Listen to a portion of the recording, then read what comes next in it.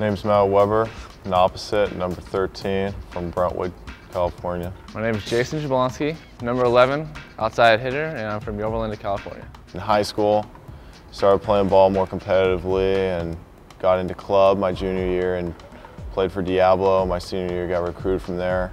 I actually was spotted at a club tournament. I was playing just club volleyball and Speraw was there and I guess I had a good game, so I just talked to him after. Hi, my name is uh, David Smith. I'm number 15. I play volleyball for UCI. I'm a middle blocker. I'm third year uh, from Saugus, California.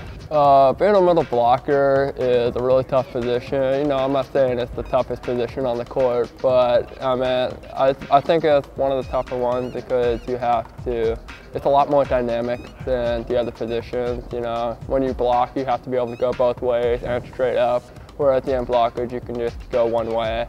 And then you always have to be very, very quick. You know, the, you're supposed to be jumping before the ball is set to you. My name is Brian Thornton. I'm a setter, and uh, I'm from San Clemente, California, same place as my teammate Brett Simpson. These guys rely on me to touch the ball every play. That's the greatest challenge as a setter.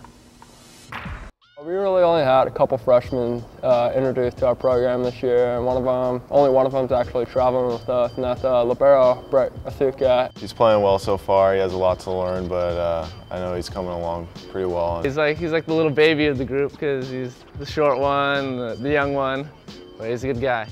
I think that he is the best candy in the world. That's what I think. Kid is always munching on something. That's what he's good for. Besides his passing, he's good for candy because he always has all this weird little candy that everyone gets to munch on, and thank God for that. He'll dig a ball that's back in the back court before you even touch it. So he's the quickest kid I've ever seen. Uh, he obviously has great upside. He kind of came out of nowhere, Iolani High School. I recruited him based on the, the recommendation of a coach. I looked at some videotape, but nobody ever served him the ball. So I said, hey, you can come here and play, but I had no idea how good he'd be. He's done a really great job. I think he's surprised a lot of people, kind of coming out of nowhere in his freshman year to contribute really in a, in a pretty large way to this team's success so far early in the season. Uh, my name is Brandon Suka. I am number eight. I play libero or libero, and I am from Aiea, Hawaii.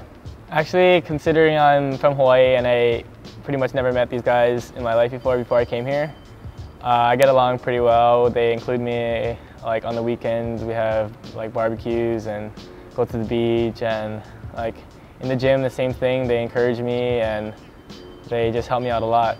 I think I think everybody is liked just as much off the court, on the court, whatever. We're just one big happy family. I played on a lot of teams and we are we're very close. We have a lot of fun. We hang out a lot together, and uh, I really enjoy being on this squad.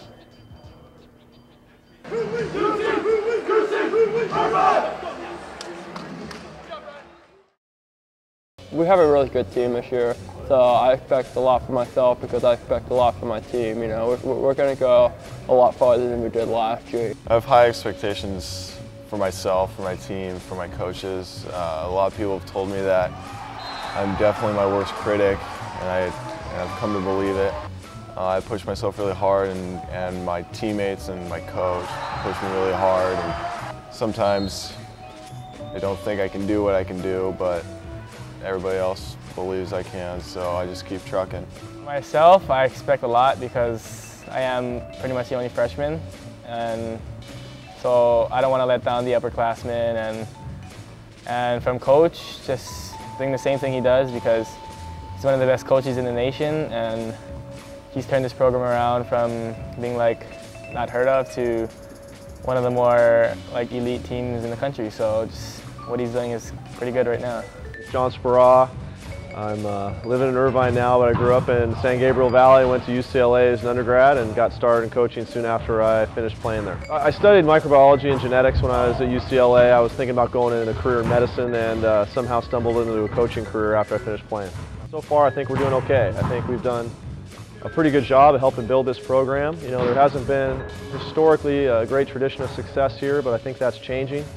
I think the, the recruits are listening to that. They're seeing it. We recruited very, very well early in the fall, so I think we got some great kids coming in. I think we're uh, building something here, and I think we still have a little ways to go. We'd like to win a national championship. Maybe when we win a national championship, maybe we'll go to my head, but I'll worry about that when it gets there.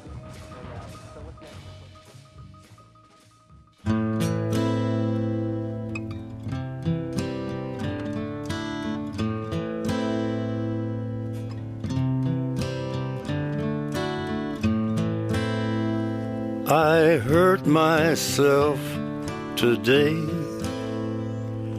to see if I still feel.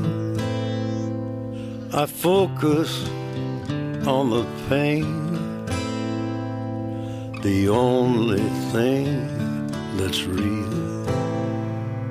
The needle tears a hole, the old familiar sting.